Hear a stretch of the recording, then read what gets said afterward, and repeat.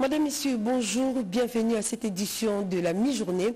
Plus de 10 millions de morts, la République démocratique du Congo se souvient ces 2 août de victimes des conflits armés à répétition motivés par des raisons économiques. Le peuple congolais se souvient de ces génocides perpétrés par le Rwanda et l'Ouganda sur les sols congolais pendant la guerre des six jours. Vous aviez suivi tout à l'heure en direct d'ailleurs la grande cérémonie présidée par la première ministre au nom du chef de l'État, Félix Antoine Tshisekedi Chilombo. Nous y reviendrons avec force et détails dans nos prochaines éditions. Suivez à présent ces récits qui retracent l'histoire d'un massacre qui a duré six jours. Six jours dans la ville de Kisangani, dans la province de la Chopo. Deux armées étrangères se sont affrontées avec comme dégâts morts d'hommes, viols, la destruction des édifices et des maisons. Cette guerre des six jours a trouvé certains élèves à l'école. C'est le cas d'Erugan euh, Ramazani qui revient sur les faits. Retrouve, retour, euh, retour en image avec euh, Magalano. C'est un comeback dans une histoire tragique vécue par Ramazani il y a de cela 24 ans. La guerre de six jours opposant deux armées étrangères sur le sol congolais. À l'époque, élève âgé de 9 ans dans cette même salle de classe.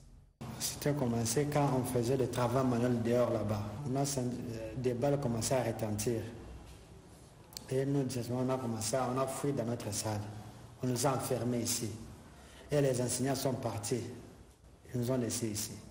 Nous nous sommes débattus jusqu'à ce qu'on a arrivé à fuir.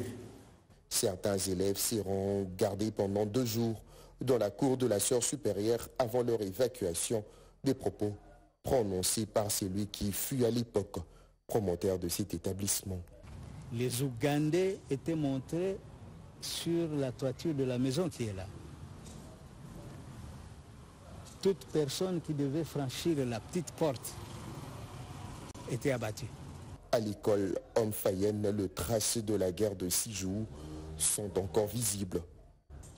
Vous voyez la fenêtre là, sans vitre.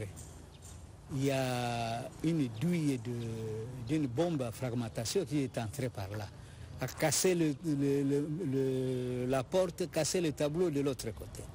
Plusieurs morts et de blessés de victimes qui ont vu du jour au lendemain leur corps s'est transformé dans la commune de La Chopo. La bombe était tombée sur la quatrième porte. Sur la quatrième porte. Donc ça a pris tout le long de, la maison. Alphonsine Abissi a assisté impuissamment à la destruction de sa maison. Son récit relate la marche d'une famille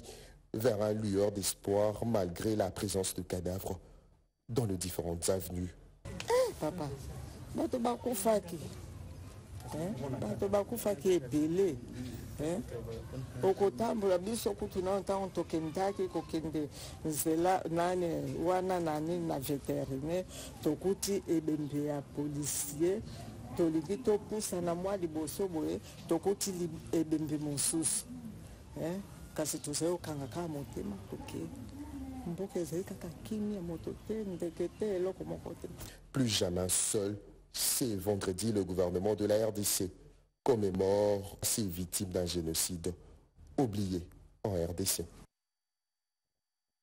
le gouverneur de la province de Haut-Touélé, Jean Bokomito, invite les Congolais à tourner les dos et à désolidariser des ennemis de la RDC, notamment les Rwandais qui troublent la paix publique en RDC. En ce jour, le 2 août, le chef de l'exécutif provincial exhorte la population à suivre la politique du président de la République, Félix Antoine Tshisekedi Chilombo, ancré sur la concorde, la cohésion nationale et le développement. C'était au cours d'un culte d'action de grâce organisé à. Suivez.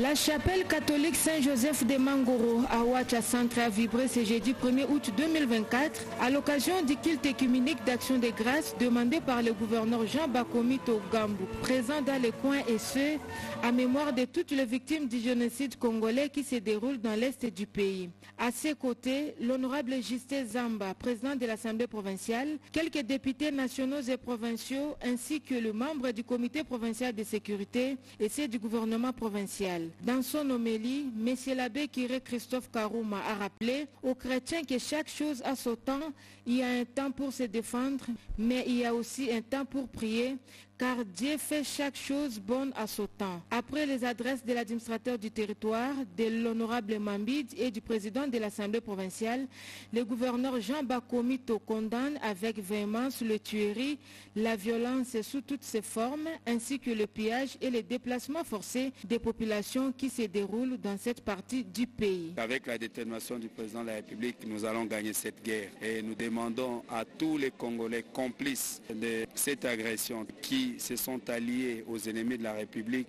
de pouvoir quitter immédiatement ces camps parce qu'un frère ne peut pas tuer son frère, un frère ne peut pas tuer sa soeur, un frère ne peut pas tuer sa mère, un frère ne peut pas permettre que sa mère soit violée, qu'il est donc temps qu'il se désolidarise de ses agresseurs et de ces méchants car le Congo gagnera la guerre tôt ou tard et la justice du monde il y en a mais la justice de Dieu aussi il y en a.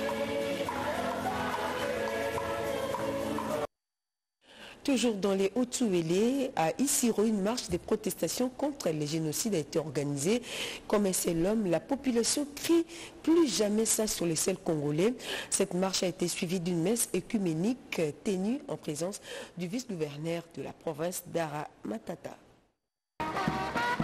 Du gouvernorat de la province du Haut-Touélé, cette marche dirigée par le vice-gouverneur Christophe Daramatata a connu la participation des chrétiens de toutes les confessions religieuses, les acteurs des sociétés civiles dans son ensemble, ainsi que les autorités à tous les niveaux.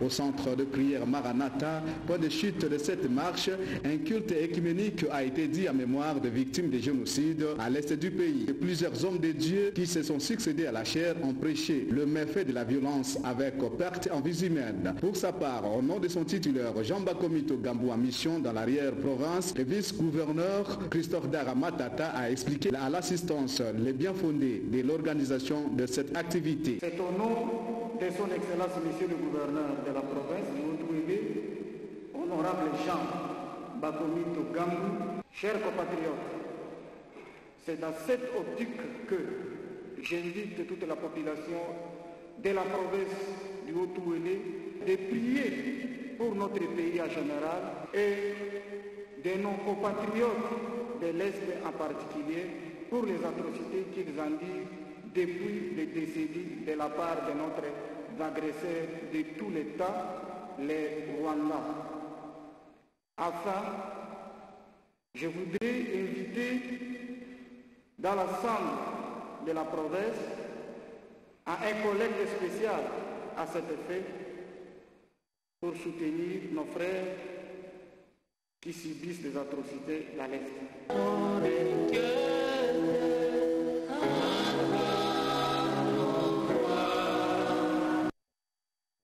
Toute la République est mobilisée pour commémorer les génocides commis dans la ville de Kisangani, tout en dénonçant l'implication des pays étrangers dans les conflits armés qui sévissent dans la partie est de la République démocratique du Congo.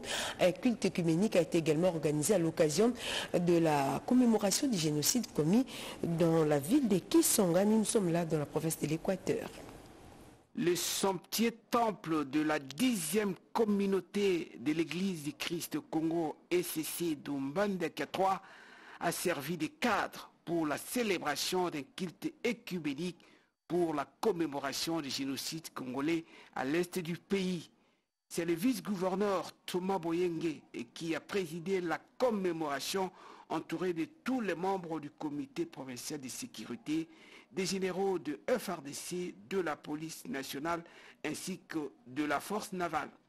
Le temps fort du culte a été assimilé à l'homélie prononcée par le révérend Ngoyi Bonjo côté prédicateur du jour. Dans le livre de Jacques au chapitre 5, versets 1 à 5, l'orateur du jour a axé son intervention sur un thème minutieusement choisi, à savoir celui qui veut se faire l'ami du monde devient automatiquement ennemi de Dieu. Voulant éclaircir le concept monde repris dans son terme, le révérend Goï a indiqué que celui-ci passe pour l'épicentre des luttes, des querelles et des disputes parmi les humains, avant d'appeler les chrétiens de l'Est comme ceux de l'ensemble du pays à la repentance, à la prière pour que la paix revienne à l'est du pays. Au sortir du kit, le révérend Eliki Bonanga, président de la 10e communauté STC, s'est exprimé en ces termes. Ok, nous voulons d'abord remercier le président de la République, notre gouvernement provincial, pour avoir songé à célébrer cette journée chez nous, ici à Bandakatoura. Quand on fait des génocides, comme je l'ai expliqué, c'est un crime contre l'humanité. Parce que les, les meurent, ce sont des innocents, et nous devons prier pour que tout à fait autre chose à présent, la digitalisation des services sous tutelle de la vice-primature de l'Intérieur, sécurité, décentralisation et affaires coutumières demeurent parmi les priorités du gouvernement souminois. Face à cet impératif, la vice-ministre Eugénie Tchela Kamba a eu une séance de travail avec une délégation de l'ambassade de la Côte d'Ivoire et de la NAPI. Reportage. La numérisation de services et entités sous tutelle du ministère de l'Intérieur, Sécurité, Décentralisation et Affaires coutumières demeure l'une des priorités du quinquennat du président de la République, Félix-Antoine Tshisekedi Chilombo, porté par les gouvernements souminois. C'est dans ce cadre que la vice-ministre Eugénie Tchiela Kamba a eu une séance de travail avec une délégation de l'ambassade de la Côte d'Ivoire conduite par les chargés des affaires économiques qu'accompagnait l'Agence nationale de promotion et investissement, ANAPI. L'occasion pour les numéros 2 de la territoriale au pays d'écouter ces hôtes venus pour expliquer l'enjeu et l'opportunité de la plateforme de digitalisation World Financial Service efficace, notamment dans la gestion de paye des policiers et la collecte de taxes et redevances dans les entités communales, ce qui doit permettre à l'État d'accroître ses ressources internes. La plupart euh, des contribuables sont dans l'informel. Les collecteurs euh, manuellement ont du mal à couvrir l'assiette. Nous avons réussi à digitaliser l'ensemble des mécanismes de collecte avec euh, la constitution de bases de données qui permet d'établir le potentiel économique et financier des collectivités. Nous avons été émerveillés par la réaction de la vice-ministre. Satisfaite d'avoir écouté de ses hôtes de l'intérêt qu'apporte la Banque mondiale dans ses vastes projets de digitalisation, la vice-ministre de l'Intérieur, Eugénie Tchela Kamba, a émis le vœu de voir la société Clochor Congo lui transmettre une note d'information afin de voir dans quelle mesure passer de la parole à l'acte. Voilà, il s'est tenu dans la capitale un atelier de formation de renforcement des capacités à l'attention des experts du ministère de l'Urbanisme et Habitat et ceux du ministère des Travaux publics sur les projets des lois portant code d'urbanisme et de la construction de la RDC. Les participants sont unanimes. La matérialisation du code dans les projets Kinelenda et des mises nous rapporte Émilie Kaindo dans ce reportage. Faisant suite à l'atelier national de validation du code d'urbanisation et de construction de la République démocratique du Congo, cette session de formation, de renforcement des capacités organisée conjointement par la cellule infrastructure et le secrétariat général de l'urbanisme en partenariat avec l'ONU Habitat vise à mettre sur pied des stratégies devant servir aux experts de moderniser la ville-province Kinshasa à travers le projet Kinelenda. Le secrétaire général de l'urbanisme a exhorté les participants à travailler ensemble pour les défis du développement, notamment s'imprégner des normes urbanistiques de construction. Le coordonnateur de la cellule infrastructure, Billy Chibambe Niembu, a évoqué différentes possibilités d'orienter et matérialiser le projet Kin Elenda suivant le code d'urbanisation. Parmi les activités qui sont prévues au projet Kin Elenda, nous pouvons citer encore l'élaboration des documents de planification humaine locale. Il s'agit euh, des plans locaux d'aménagement et des plans particuliers d'aménagement de la ville de. Il s'agit aussi de la réalisation d'études stratégiques issues du SOSA. Il s'agit enfin de l'appui au ministère de l'urbanisme et habitat dans l'élaboration du nouveau code de l'urbanisme et. Le respect des normes urbanistiques, la pollution et la lutte contre les constructions anarchiques sont les défis majeurs à relever que le gouvernement doit s'approprier dans l'application du code d'urbanisation et de la construction qui reste un canal pour créer et développer des villes modernes en République démocratique du Congo. Quelques femmes congolaises pionnières dans les domaines spécifiques ont été primées et reçues des trophées pour couronner leur engagement à travers un travail remarquable, ce qui a motivé la ministre du genre à son tour à honorer ces femmes lors de la célébration de la Journée internationale de la femme africaine le jeudi 1er août, nous rapporte Jemima Mogo. Ces trophées ont été remis à ces six femmes formidables de la République démocratique du Congo. Cela grâce à leur travail abattu avec dévouement dans un domaine ou un autre.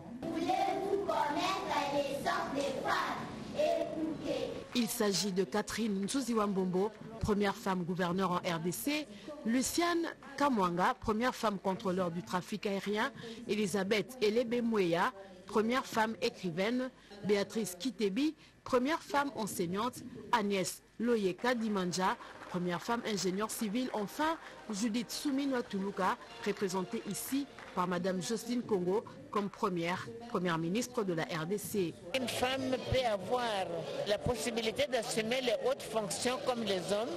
Nous avons la même détermination et la même volonté d'apprendre et d'arriver et d'assumer les fonctions comme font les hommes. Je demande aux jeunes femmes de faire de sorte qu'elles ne puissent pas se décourager parce que le développement de, la RDC a besoin des efforts des hommes et des femmes. Léonie Kandolo, ministre du Genre, Famille et Enfants, qui a organisé cette soirée de gala en collaboration avec l'ONU Femmes, a encouragé ces lauréates et estime que ces dernières sont un modèle pour la jeunesse congolaise. Les femmes ont écrit l'histoire de ce pays. Nous les avons vues dans tous les combats. C'est pour ça que nous voulons qu'il y ait de plus en plus de femmes, parce que les premières victimes dans nos conflits en Afrique et en RDC en particulier, ce sont les femmes. Que nous soyons euh, des ménagères, des universitaires, des mamas bipoupoula, des médecins. Je célèbre les femmes que nous sommes et les femmes en devenir.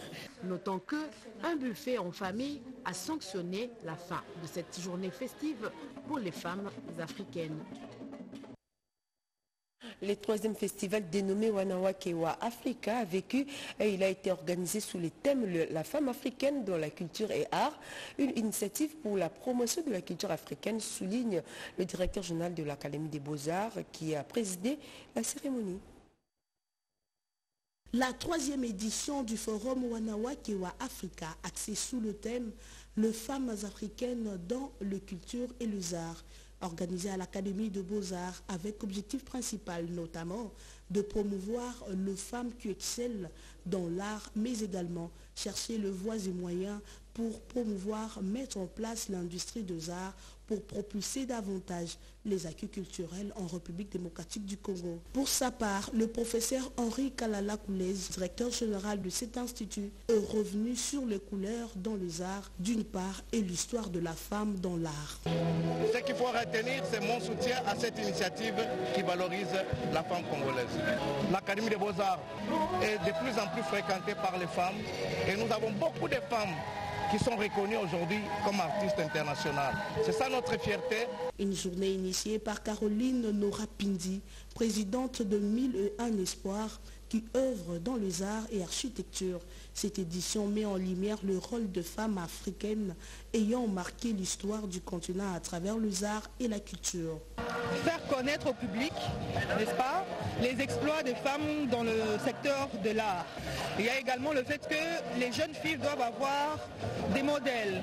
Et pour avoir des modèles, pour choisir un modèle, il faut connaître la personne. Il faut avoir entendu parler de la personne se faire une idée et se dire, ah voilà, je veux devenir comme cette femme plus tard. Le travaux répartis en panel, chacun des animateurs ont représenté leur innovation dans les arts et intérêt pour la femme congolaise.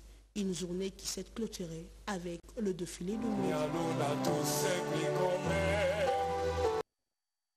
Les familles sinistrées des inondations des pluies qui se sont abattues dans la capitale au mois d'avril dernier sont restées sans assistance jusqu'à ce jour. Informée, la diplomate canadienne en poste en République démocratique du Congo a volé au secours à ces familles à travers le projet d'assistance féministe des Canadiens. Elle leur a apporté des vivres et non-vivres. Reportage.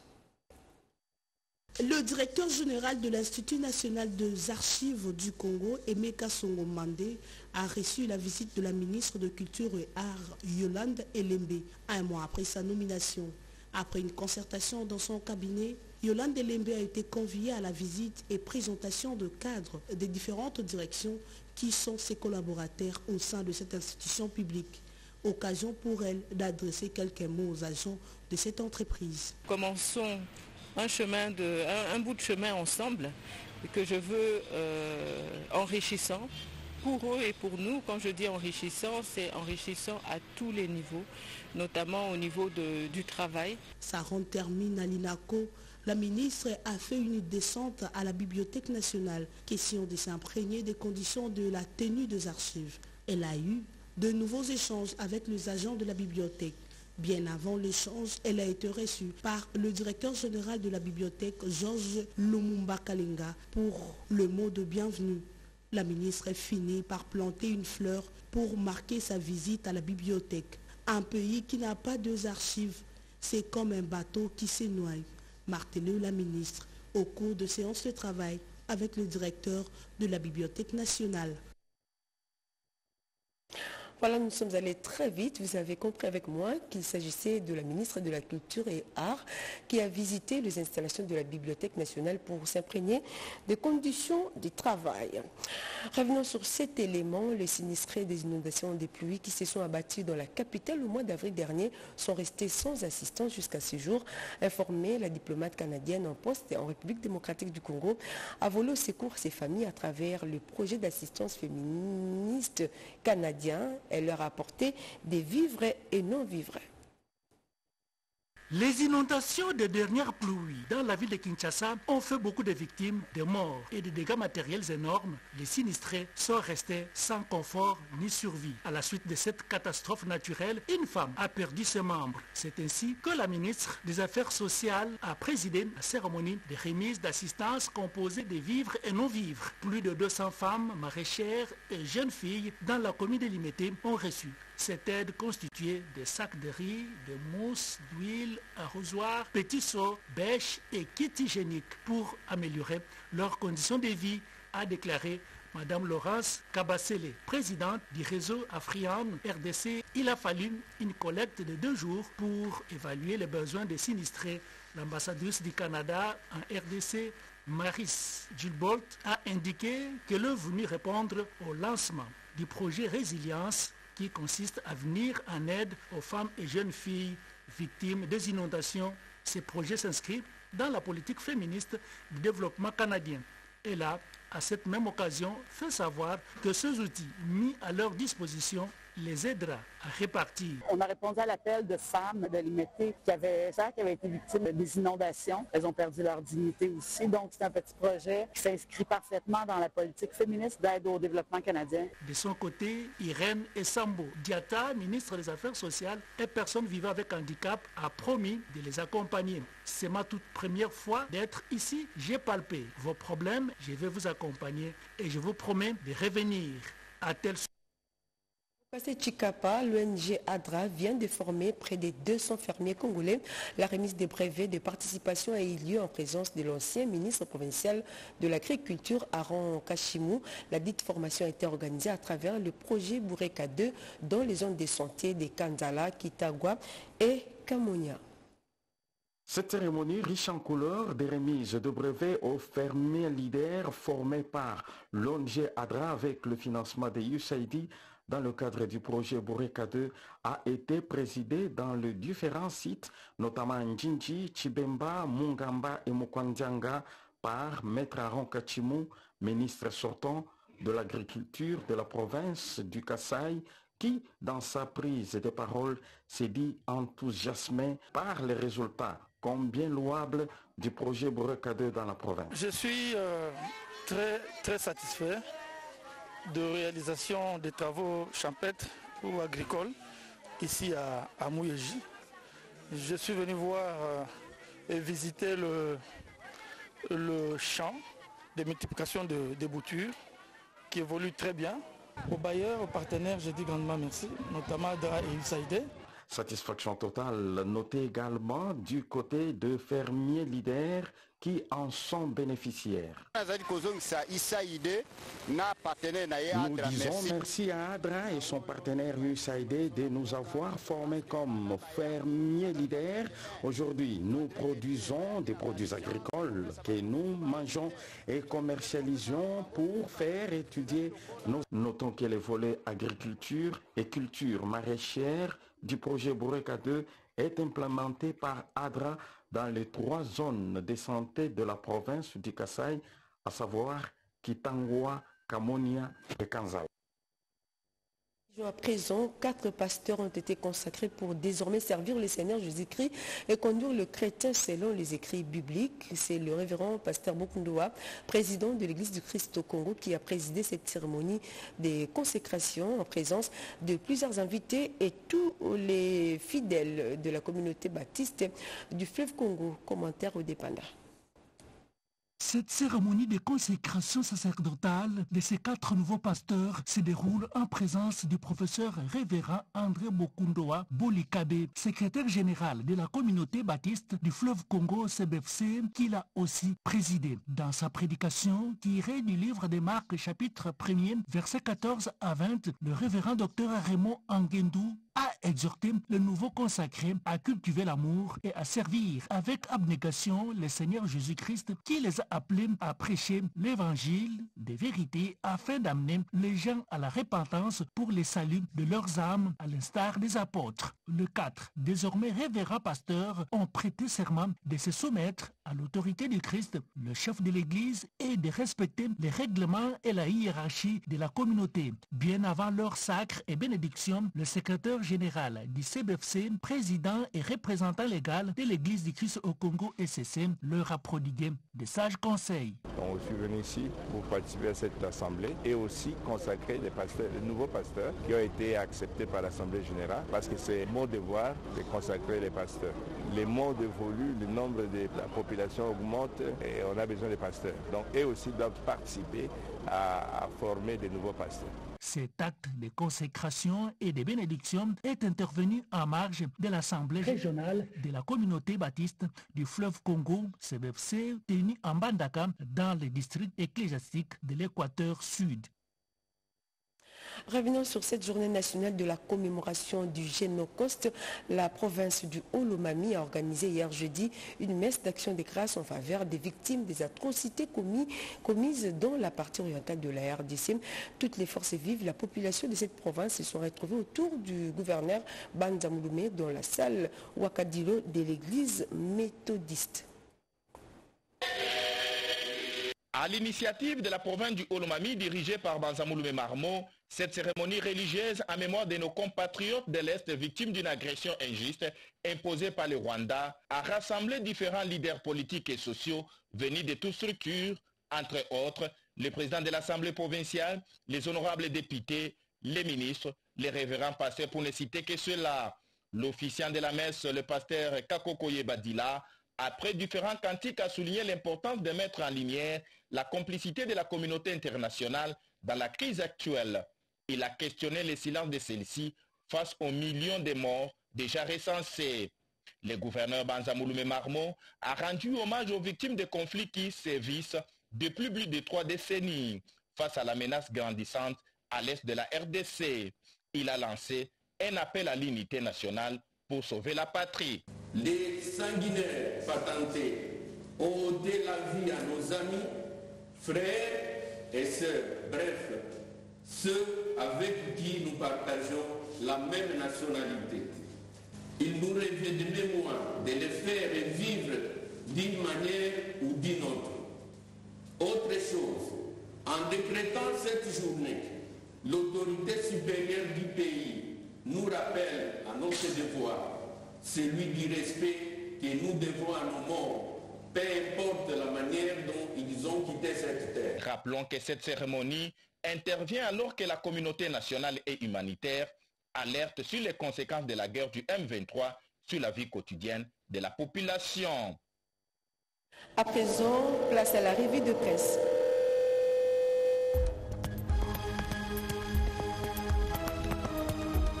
Bonjour mesdames, messieurs et bienvenue à cette revue de presse. Génocoste Fati aux soins médicaux souminois à Kisangani pour commémorer les affres de la ville martyre, titre Forum des As. La République démocratique du Congo rend hommage ce vendredi 2 août aux millions des Congolais victimes d'atrocités liées aux conflits armés. La première ministre Judith Souminois est arrivée à Kisangani pour la commémoration de cette journée nationale du génocide congolais pour des gains économiques. La chef du gouvernement va représenter le président de la République, Félix Antoine Tshisekedi, à la cérémonie officielle qui va se dérouler sur plusieurs sites à Kisangani. Accord de cesser le feu de Luanda, jusqu'où Kinshasa se pliera-t-il aux caprices de Kikali s'interroge Econews. Au terme du dernier face-à-face à, Luanda, entre les deux chefs de la diplomatie de la RD Congo et du Rwanda, écrit le journal, les deux parties ont conclu sous l'égide du président angolais un accord de cessez-le-feu censé entrer en vigueur à dater de ce dimanche 4 août 2024. Si les uns et les autres, spécialement les Nations Unies et les États-Unis, ont salué l'accord parrainé par l'Angola, il s'agit maintenant de le confronter à l'épreuve des faits, d'ores et déjà, le groupe terroriste AFC M23, non invité aux discussions de Luanda, a souligné via un communiqué qui n'est pas automatiquement lié par les conclusions de réunion auxquelles il n'a pas été convié. Jusqu'où Kinshasa se pliera-t-il aux caprices de Kigali dès ce dimanche 4 août? Tous les regards seront rivés vers les lignes de front de l'Est.